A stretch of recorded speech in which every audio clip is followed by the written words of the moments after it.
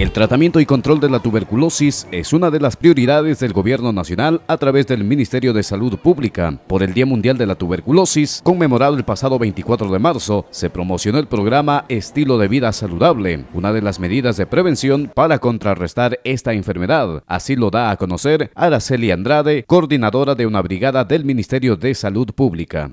Eh, lo que es parte fundamental para para el tratamiento de esta enfermedad, pues lo que son carnes, eh, granos, ¿sí? ¿Por qué? Porque la principal función de las proteínas pues es regenerar los tejidos dañados.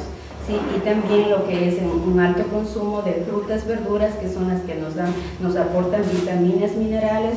El deporte y no consumir drogas es vital para quienes sufren de la tuberculosis.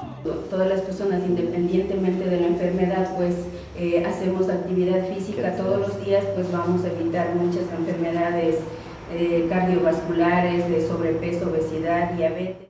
Manuel Albarracín, director distrital de salud 19 de 01 Zamora Yacuambi, dijo que constantemente vienen trabajando para erradicar esta enfermedad infecciosa se han desarrollado diferentes actividades sensibilizando en qué es la, qué es la tuberculosis, eh, cómo podrían ayudar en cada una de sus casas, identificando eh, pacientes con tos por más de 15 días, con tos con flema o, tos productiva que nosotros eh, denominamos comúnmente.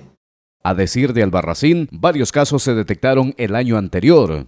13 casos que se presentaron en el 2014 en nuestra, nuestra jurisdicción, los, el 100% de ellos actualmente están como eh, eh, tratados y curados.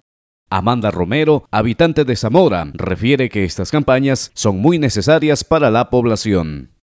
En todo momento siempre la prevención pues eh, nos evita muchas,